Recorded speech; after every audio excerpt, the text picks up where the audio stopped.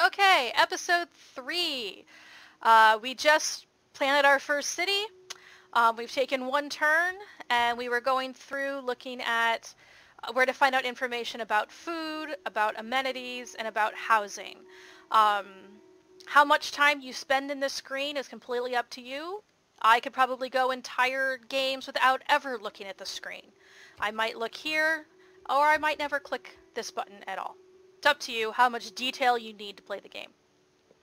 The other things I do want to point out here about your city, um, in terms of expanding your borders, you can purchase a tile. So if we had 50 coin and we really wanted to get this piece here because it's got the diamond on it, we could just buy it straight out if we had the money. Um, also, because it's our first turn, we can't quite see it yet, um, but probably next turn, and I can look for that. It would also show us which um, of these hexes we're likely to get um, would be the next one we'll get, just naturally based on how much culture we have. Uh, managing citizens. This is important to know as well. So we have our one citizen over here kind of working this tile, which means we're getting these resources. We're not getting any of these resources because nobody is working the tile. So even though these tiles are in our border, we're not getting the one food, one gold. We're not getting the one food, two production. We're getting one food, two production from this tile because we have one person and that's what they're working. If we wanted to say, you know what, I don't care about food production, I want as many citizens as possible, I can switch that. And so now we're getting plus four food. If I put it back, Oops. Now we're at plus, plus 3 food because we had one more food. If we go over here, our production changes from plus 5.3 to plus 3.1.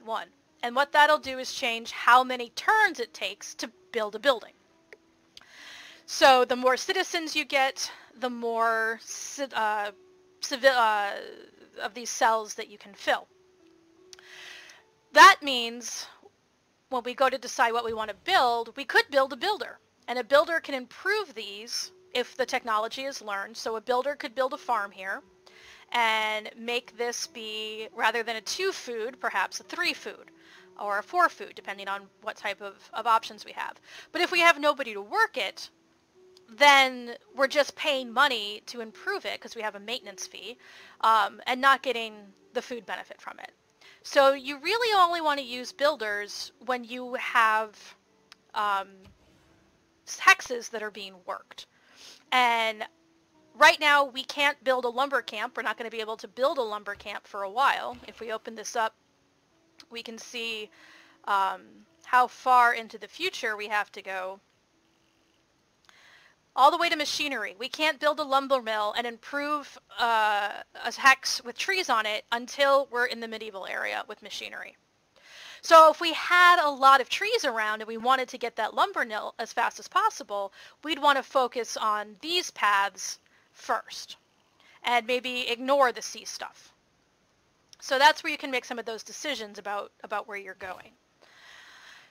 So um, the other things here um, in addition to uh, using production to make a, something like this, you can just, if you have the money, you can buy it outright. Um, when we build a religion, you can accumulate faith, and sometimes you can buy things straight out with faith. Um, and then if you just want to kind of change where things are, you know, what, what are we producing here? So that's kind of how you navigate a city. There's a lot of information there. Um, of course, to to kind of muddle through most of the time, most turns, you're not really paying too much attention to all of that nitty gritty unless you're the type of person who wants to pay attention to all of that kind of nitty gritty. Um, but in terms of gameplay, we have built our city, we have exp uh, explored a little bit more, and we want to know what's the first thing we're going to build.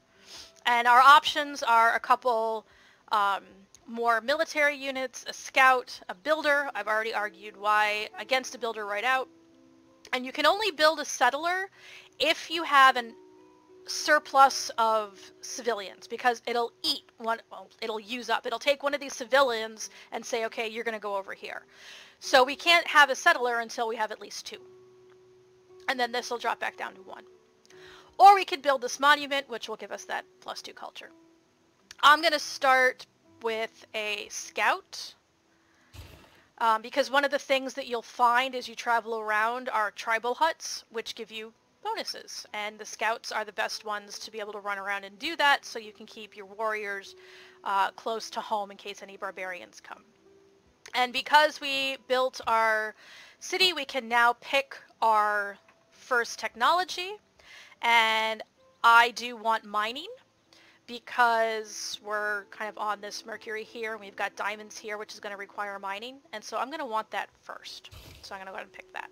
And now we'll take our next turn. And we're at our next turn. So I'm going to continue having this warrior just kind of take a lap around the map. We got more diamonds here and some more water. So what we want to be thinking about at this point in the game isn't how do we want to win, how are we going to build. What we want to decide now is where are we going to build our next city? Because ultimately you want to plan to have a foundation of three or four cities. Uh, some civilizations, some players will try to have way more cities than that.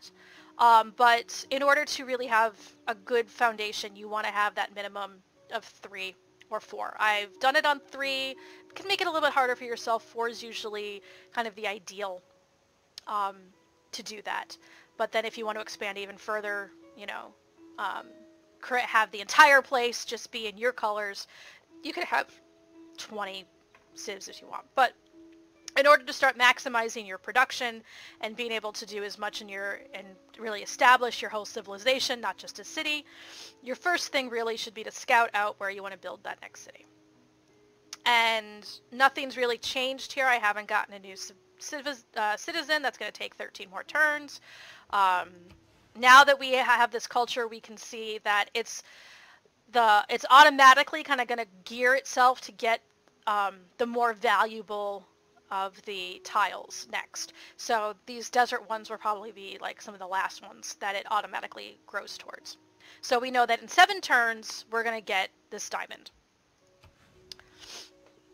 And actually, I can check on resources. Yes, uh, that mercury is counting, um, even though it says we need mining.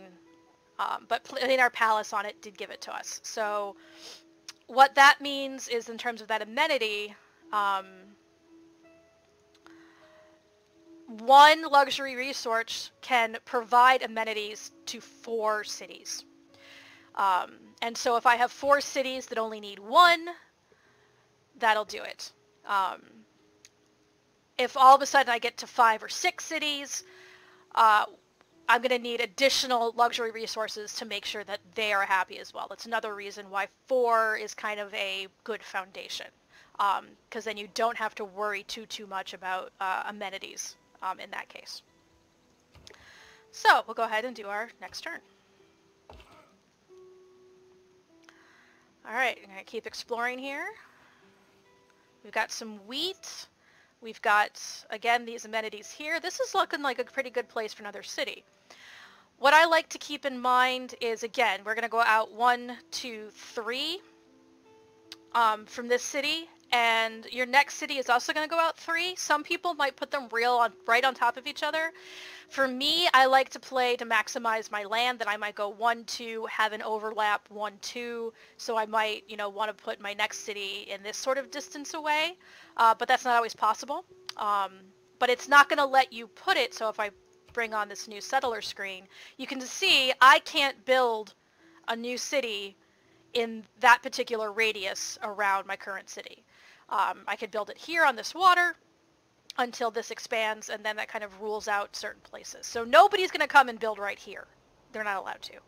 The closest could be here, but then we can start expanding and overlapping in those areas. So now we keep going. We just keep hitting next turn until something interesting happens. We got some horses here. I'm not quite sure why I'm seeing... Oh, maybe that's a Spanish thing, because usually you have to... Um, well, maybe not. Uh, like, reveal horses. Um, before you can see them on the map. like with iron. I'm not going to be able to see any iron on my map until I research iron. I could have iron all around here. I could have no iron. I don't know. It's the luck of the draw.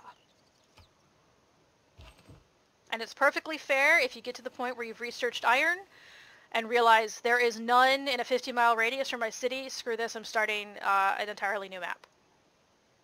By all means. Two more turns and we get our scout. And, okay, so this over here is looking real nice for a new place. We've got, um, this is on a hill, which gives us production. We've got the fresh water. We've got, now we've got somebody over here. I can see the edges of a border. So we've got some rice. Um, so what I'm going to do is just kind of take a mental note that I think this would be a great place to build a city. And in fact, to have that be a mental note, I can go take a tack and place it here and click the city center. And now there's a little icon here to remember me. I wanted to place a city center there.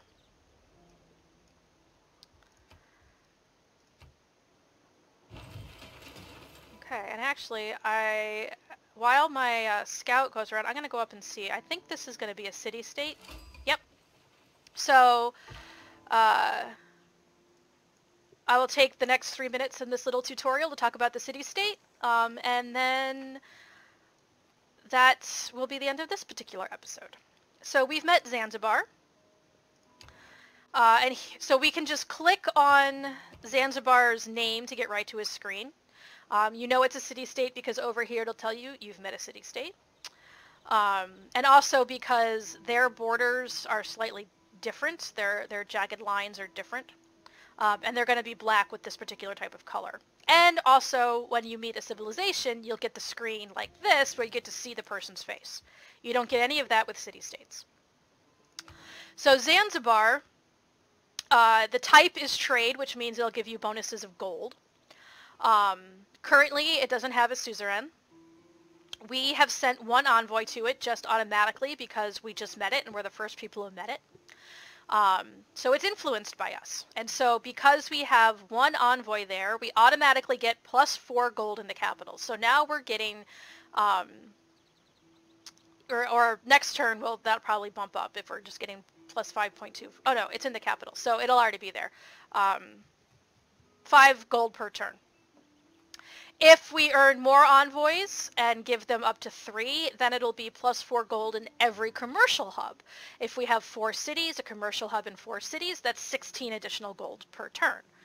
And then um, if we get up to six envoys there, we get yet another four gold in every commercial, um, so a total of eight in every commercial hub. That's a lot of bonus gold per turn. And then down here you can see what happens if you are the suzerain, meaning you have the most, you have to have at least three to be a suzerain, um, and then more than anybody else. So for Zanzibar, they have a unique thing where you get to receive cinnamon and cloves luxury. So if we're running short on amenities, being friends with them will help give you more amenities.